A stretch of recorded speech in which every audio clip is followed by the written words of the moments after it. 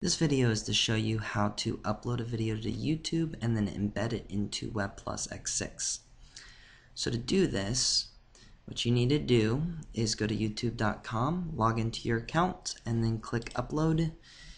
And then this page, you can drag and drop the file or select it from whatever files you have.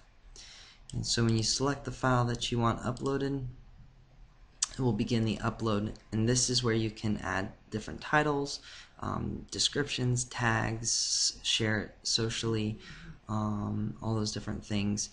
And when the video is done uploading you can even pick a thumbnail for it.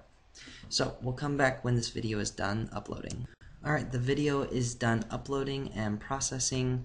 You can select your thumbnail as I said. This may be in a different location. It may be at the bottom here. Um, but this is where you can edit and make those changes. When you're done, you can go to the video manager. Um, and to do that, you click on this gear icon next to upload and there you'll see your video manager. This is where your videos will be that you upload. So here's the video that we just uploaded and I want to click on it and it will play. Um, but for this instance, we're just going to show you how to embed. So we want to share this video and we're going to get the embed file.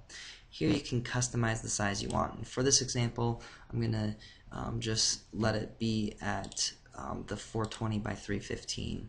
Um, but you can select whichever size you want or a custom size and then this is the code. So make sure you copy that to your clipboard and then you can open up Web Plus X6.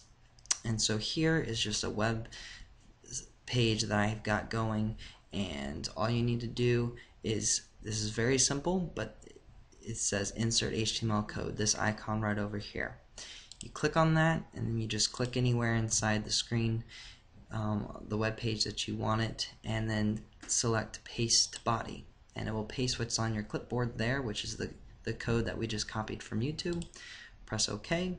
And what I always try to do is I try to resize this to the size of the video. So this is a 420 by 315 and we do that right over here in the transform and we can do 420 and the height would be 315 and I position this wherever I want it to go. And then the last step to get this out on the web is to publish the site.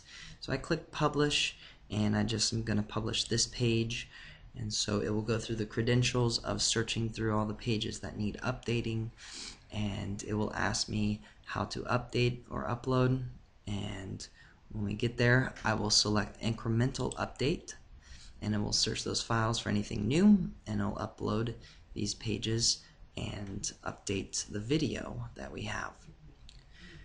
So when this is done, which is any second,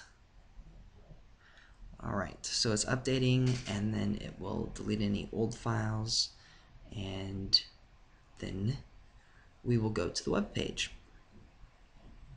So we'll go back to the web page and we're going to go to um, that page that we just uploaded and there's the video.